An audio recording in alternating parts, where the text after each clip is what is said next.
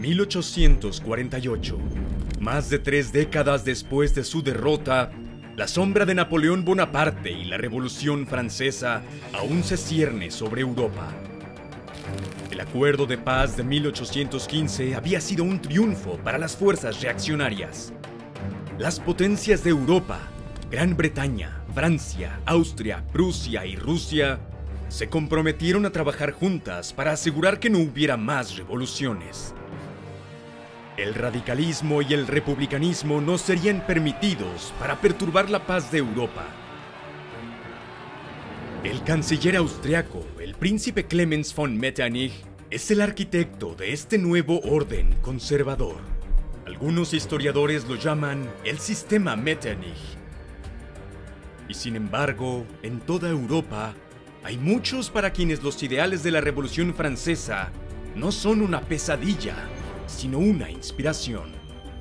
Los liberales buscan libertades personales y derechos civiles, como igualdad ante la ley, protegidos por constituciones, una prensa libre y elecciones regulares.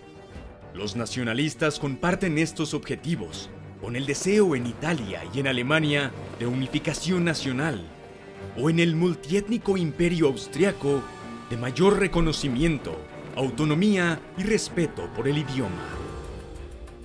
Los polacos continúan buscando la restauración de una Polonia independiente y han lanzado una sangrienta revuelta contra los rusos en 1830.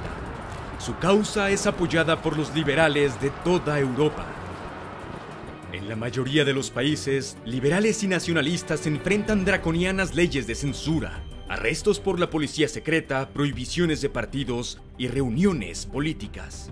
Pero siempre hay lagunas. En Francia, los banquetes se convierten en mítines políticos. En Italia, las sociedades científicas discuten política. Y los grupos gimnásticos hacen lo mismo en Alemania.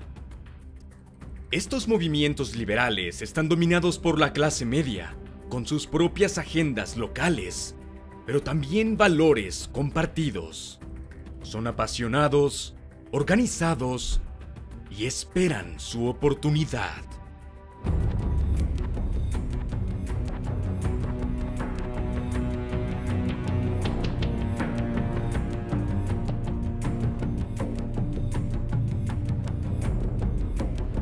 Pero no son solo las clases medias las que quieren un cambio.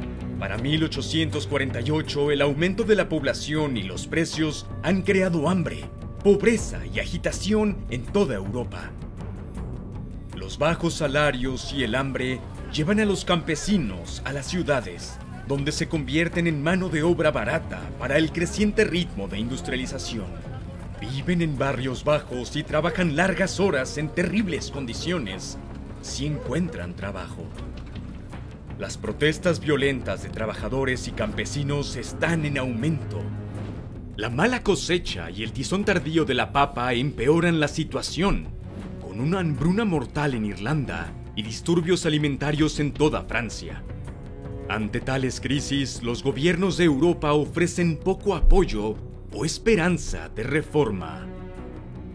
Cuando el primer ministro francés François Guizot es desafiado de que solo el medio por ciento más rico podría votar en Francia, simplemente responde, enrichissez-vous, enriquezcanse. En el invierno del 47 y 48, un agudo deterioro económico deja a miles más sin trabajo. El caso de la reforma es más urgente que nunca, pero los gobiernos de Europa no actúan. El escenario está listo para una revolución europea.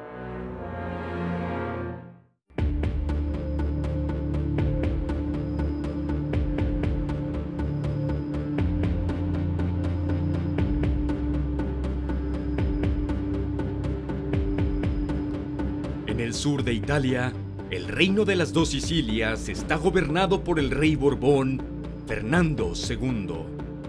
Sus desastrosas reformas agrarias han unido a los terratenientes y campesinos sicilianos en su contra. Su reino será testigo de la primera revolución de 1848. En Sicilia, multitudes furiosas persiguen a las tropas borbónicas fuera de Palermo. Y la isla declara su independencia, readoptando la Constitución de 1812. La revolución se extiende al continente. Manifestaciones en Nápoles obligan al rey Fernando a emitir su propia constitución.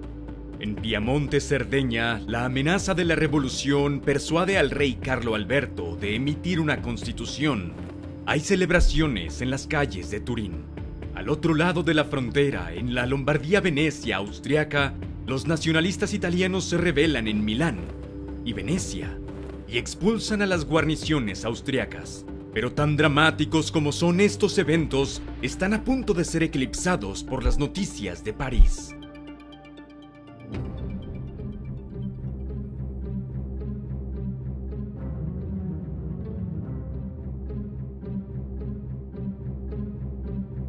Desde la Revolución de Julio de 1830 en Francia, el país ha sido gobernado por Luis Felipe, el llamado Rey Ciudadano.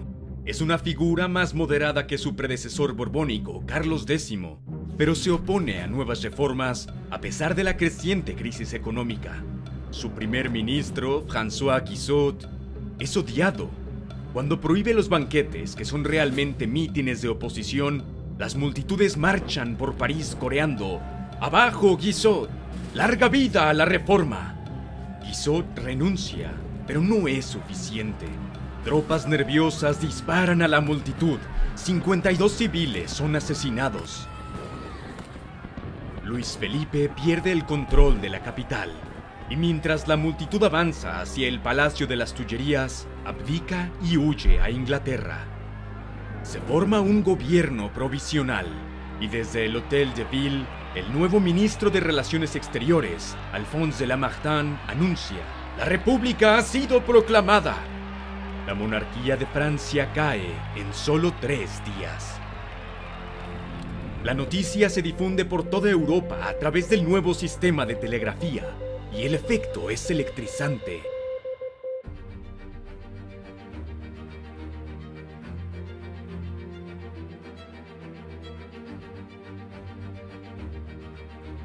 El canciller austriaco Metternich, de 75 años, es uno de los primeros en ser informado de la revolución en París.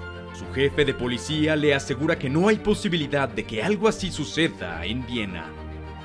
Pero el 13 de marzo, 4.000 estudiantes, inspirados por las noticias de París, marchan hacia el Landhaus, el edificio de la Asamblea, y se abren paso. Hay enfrentamiento con las tropas que abren fuego y matan a cuatro. Los trabajadores de Viena se unen a los estudiantes. Gran parte de la hostilidad está dirigida hacia Metternich. Cuando el Consejo de Estado sugiere que renuncie, Metternich acepta mansamente y se exilia en Inglaterra. Una de las carreras políticas más extraordinarias en la historia de Europa, que abarcó 40 años, llega a su fin. El emperador Fernando sufre de epilepsia y un impedimento en el habla y es en gran medida una figura pasiva. Pero cuando el Consejo anuncia que habrá elecciones para una asamblea que redactará una constitución, la multitud lo aclama en la calle. La policía secreta desaparece, la censura se ignora y la gente de Viena celebra. Los nacionalistas dentro del imperio austriaco también están inspirados por los acontecimientos. En el Parlamento húngaro, el político Lajos Kossuth pronuncia un discurso incendiario, denunciando el absolutismo Habsburgo como el aire pestilente que adormece nuestros nervios y paraliza el espíritu. Su discurso se imprime y se distribuye ampliamente, inspirando a otros en todo el imperio. Los húngaros lanzan su propia revolución, con 12 demandas que incluyen mayor autonomía, una prensa libre y reformas parlamentarias. Los liberales checos en Praga forman un comité nacional y también envían sus demandas a Viena. Incluso hay un levantamiento nacionalista rumano en la provincia otomana de Valaquia que obliga a la abdicación del príncipe local.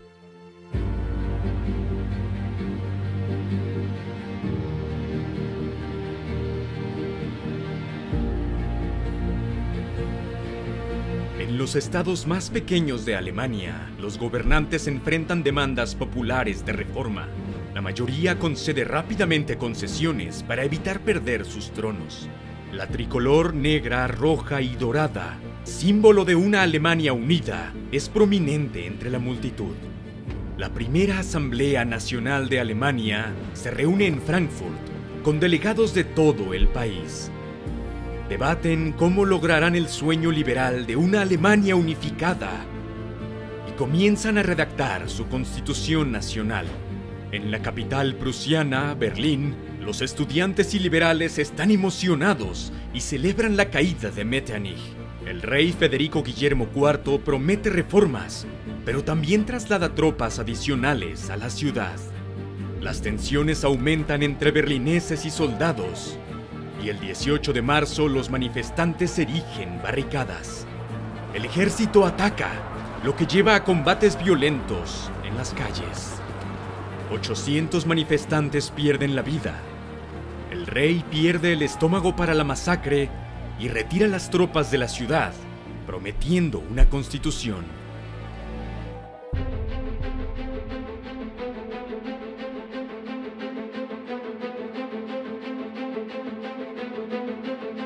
No toda Europa abraza el cambio. En Rusia, el emperador Nicolás se opone a cualquier reforma. Había sido sacudido por la revuelta decembrista el primer día de su reinado desde entonces endurece la censura y crea una nueva unidad de policía secreta, el tercer departamento. Se produce una represión contra los sospechosos de su versión. El escritor Fyodor Dostoyevsky está entre los arrestados y es sometido a una ejecución simulada antes de ser desterrado a Siberia. No habrá concesiones en Rusia. Según los estándares europeos, Gran Bretaña ya es una monarquía liberal y constitucional, y la clase media acepta ampliamente el status quo. Pero hay un movimiento popular que pide más reformas democráticas. Se les conoce como cartistas por la carta de seis puntos que desean implementar. Se organiza una manifestación masiva para el 10 de abril en Londres. Esta es una fotografía de esa reunión. Las autoridades temen violencia y convocan a 80.000 policías adicionales, pero el evento es pacífico. En Países Bajos, el rey Guillermo II respalda una nueva constitución y reformas, evitando con éxito cualquier disturbio revolucionario. Con gran sincronización, Federico VII de Dinamarca ha abolido el absolutismo real en enero por lo que también evita la revolución, pero enfrenta a un levantamiento alemán en Schleswig-Holstein, que lleva a la guerra con la Confederación Alemana. Dinamarca finalmente prevalecerá en esta guerra gracias al apoyo diplomático de otras potencias europeas. En 1848 había esperanzas de que estas revoluciones allanaran el camino para la restauración de una Polonia independiente. Después de todo, los liberales europeos habían expresado entusiasmo por esta idea. Pero en realidad, ninguna potencia importante está dispuesta a arriesgarse a confrontar a Rusia por el bien de los polacos. Un levantamiento polaco en Posen es reprimido por los prusianos, mientras que los austriacos lidian con levantamientos en Cracovia y Galicia.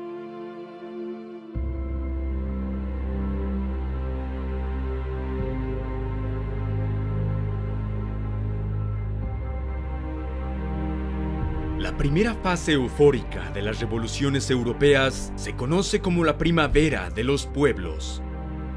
Con la relajación de la censura hay una explosión en el número de periódicos, entre ellos el nuevo y radical diario de Colonia, Neue Rheinische Zeitung, editado por Karl Marx. Se siente como el amanecer de una nueva era. Pero estos primeros éxitos se construyen sobre la base de una alianza inestable como Marx se apresura a destacar. Los liberales de clase media quieren constituciones, más inclusión en la política y una prensa libre. Los trabajadores, que son los soldados revolucionarios en muchas ciudades, quieren alimentos más baratos y el derecho al trabajo. Los radicales alemanes lo resumen con un juego de palabras, libertad de prensa contra libertad para alimentarse. Las nuevas asambleas de Europa están bajo presión de los conservadores que creen que están yendo muy lejos y de liberales socialistas que creen que no se está yendo lo suficiente. Lo más horroroso para la clase media europea es la amenaza de la acción directa en masa, la revolución social, la multitud.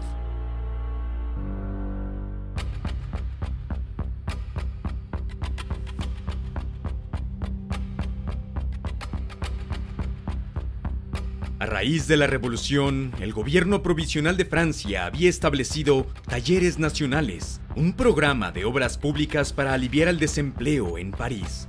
Pero tres meses después, un nuevo gobierno más conservador anuncia su cierre. 100.000 trabajadores se quedan de repente sin trabajo.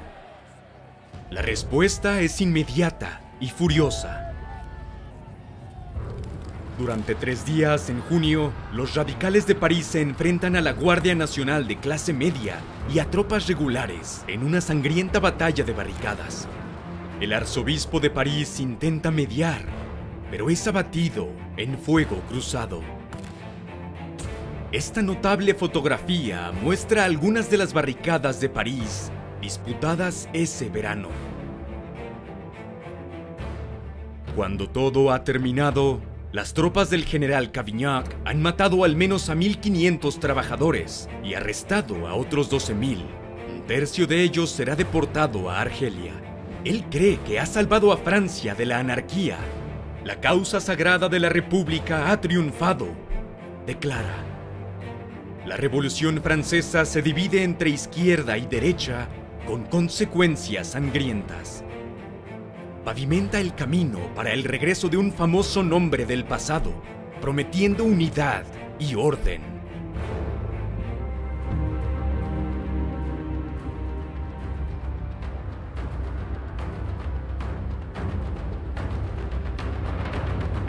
Esa primavera, los gobiernos conservadores fueron sorprendidos por la velocidad de los eventos. Ahora comienzan a contraatacar. En Praga, los estudiantes checos chocan con tropas. La esposa del comandante austriaco, el general Windisch Kretz, es asesinada por una bala perdida. Él responde retirando sus tropas y bombardeando el casco antiguo de la ciudad con artillería. 43 personas mueren antes de que los estudiantes se rindan. En Italia, el rey Carlo Alberto de Piamonte Cerdeña ha declarado una guerra de liberación italiana contra Austria e invade Lombardía, Venecia.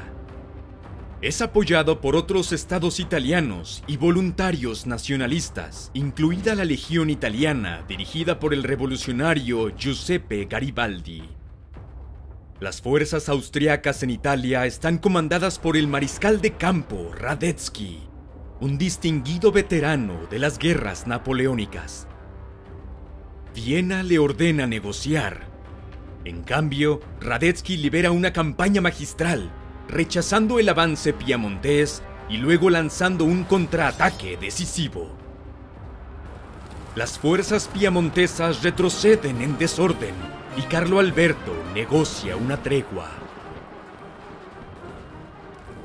Ese verano, Johann Strauss compone la marcha Radetzky para celebrar la victoria del viejo general.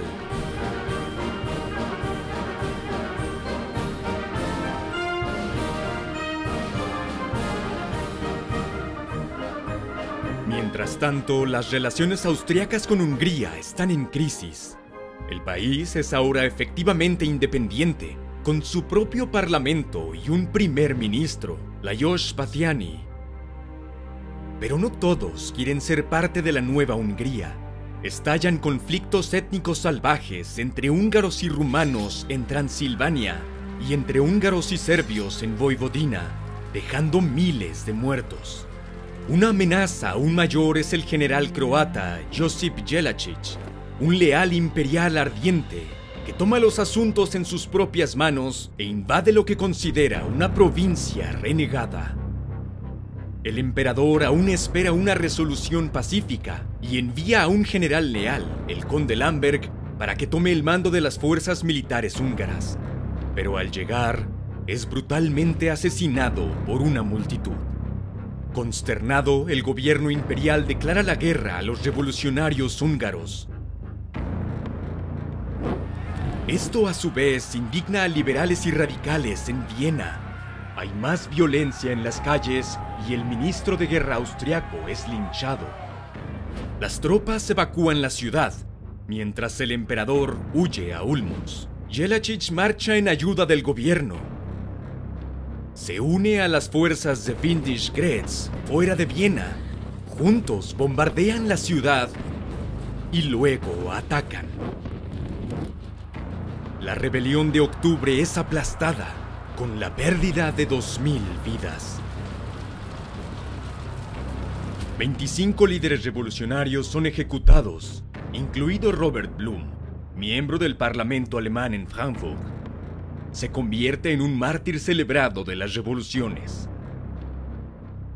Con Viena asegurada, puede comenzar la invasión austriaca en Hungría.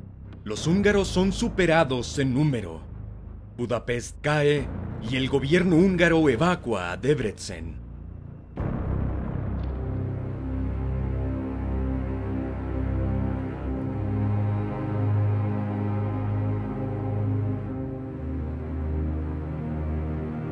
Tras la violencia en Berlín ese marzo, el rey de Prusia se retira a su palacio en Potsdam, en las afueras de la ciudad.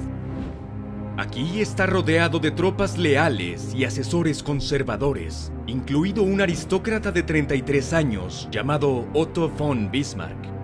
Cuando se le pregunta su opinión, Bismarck no dice nada, pero se inclina sobre un piano y toca la marcha de la infantería prusiana.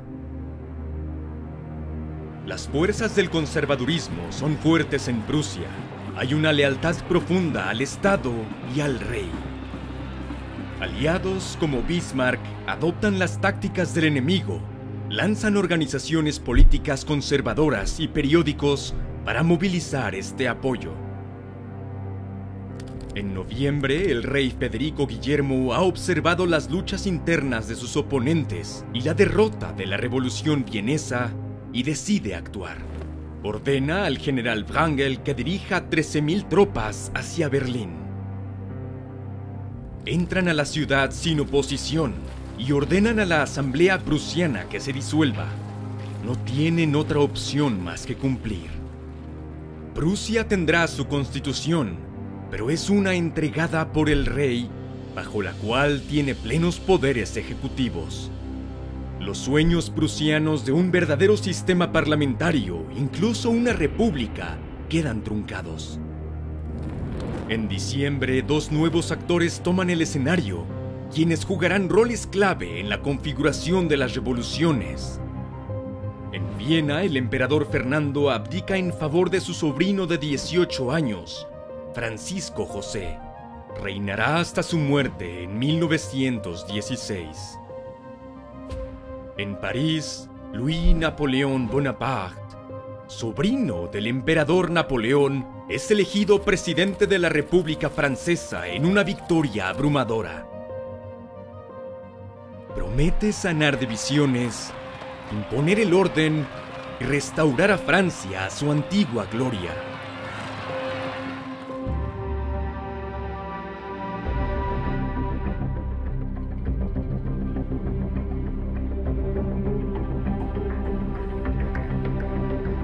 En Italia, el bullicio continúa en 1849.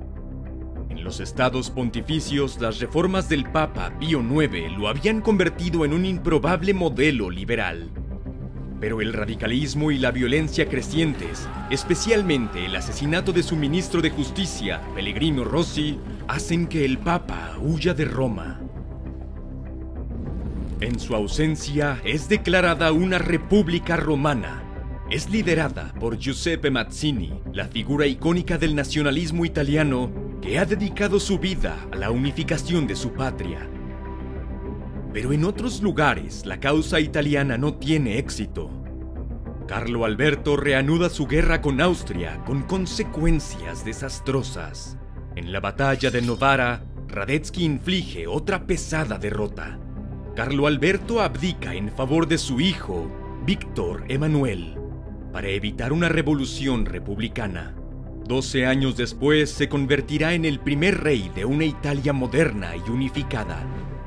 En el sur, Fernando vuelve al gobierno absolutista y envía tropas a Sicilia que sofocan la revolución. Y para consternación de liberales en toda Europa, el presidente francés Luis Napoleón envía tropas para aplastar la República de Roma y devolver al Papa su trono. Ha decidido que el apoyo de los católicos franceses es más importante para él que el destino de los republicanos italianos. Las fuerzas francesas están lideradas por el general Oudinot, hijo del famoso mariscal. Los defensores de Roma están liderados por Garibaldi, pero a pesar de una resistencia hábil y valiente, Roma es forzada a rendirse después de un asedio de dos meses. Ese verano, Radetzky también retoma Venecia, marcando el final de esta república. En marzo, el Parlamento Nacional Alemán en Frankfurt finalmente había acordado una constitución para una Alemania unida. Sería una monarquía constitucional bajo un emperador. El hombre destinado a desempeñar este papel es Federico Guillermo de Prusia. Pero cuando rechaza la oferta, el plan muere por completo. En público dice que es imposible sin el consentimiento de los otros príncipes alemanes. En privado dice que nunca aceptaría una corona de las alcantarillas, deshonrada por el hedor de la revolución. Estallan revueltas en apoyo de la Constitución Nacional en Sajonia, el Palatinado y el Gran Ducado de Baden. Son aplastados por las fuerzas locales con asistencia de tropas prusianas. El Parlamento de Frankfurt se disuelve. La esperanza que había existido para una Alemania unida bajo una constitución liberal yace en ruinas. En Austria, el nuevo emperador Francisco José emite su propia nueva constitución, reclamando casi todo el poder político. También revoca todas las reformas liberales aprobadas por el Parlamento húngaro, conocidas como las leyes de abril. En respuesta, Lajos Kossuth declara formalmente la independencia húngara y el país comienza una extraordinaria campaña de movilización militar. El comandante húngaro, el general Gergely, retoma Budapest. Luego lanza un sangriento asalto al castillo de Buda, abrumando a su guarnición austriaca. Desesperado, el emperador austriaco viaja a Varsovia para solicitar formalmente ayuda militar al emperador de Rusia. Las tropas rusas ya se han desplazado a Moldavia y luego a Valaquia para sofocar la revolución liberal rumana. Nicolás ahora accede a enviar tropas a Hungría para aplastar a quienes describe como los enemigos del orden y la tranquilidad. Hungría enfrenta una situación estratégica imposible, rodeada y superada en número 2 a 1. El embate combinado es irresistible. Las fuerzas húngaras son conducidas hacia el sur y finalmente obligadas a rendirse. Después de la batalla, alrededor de 120 políticos y oficiales del ejército húngaro son ejecutados. Así termina la Guerra de Independencia de Hungría.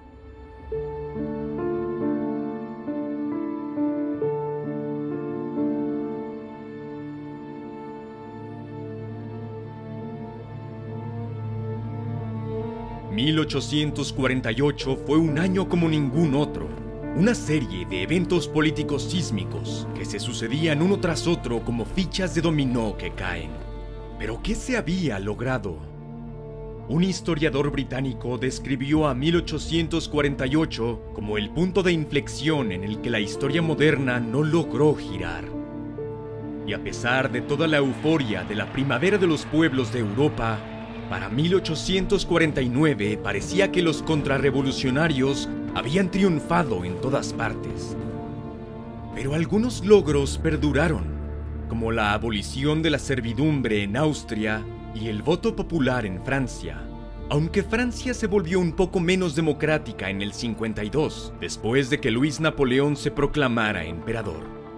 En toda Europa los gobiernos se modernizaron y prestaron más atención a los problemas económicos y sociales, en parte en respuesta a los nuevos desafíos que habían surgido de la política socialista y obrera.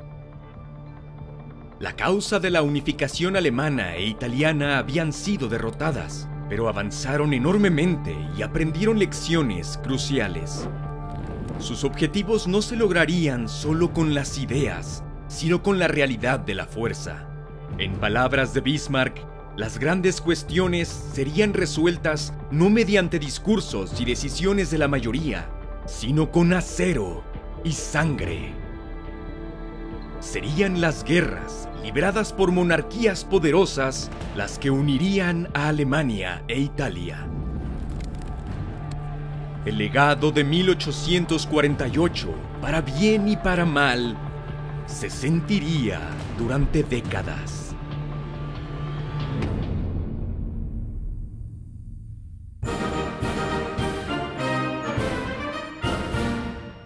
Gracias a todos nuestros seguidores de Patreon que hacen posible este canal. Descubre cómo tú también puedes obtener acceso temprano sin publicidad a nuestros videos, así como otros beneficios. Visita la página de Patreon de Epic History. No olvides suscribirte, darle like y compartirlo.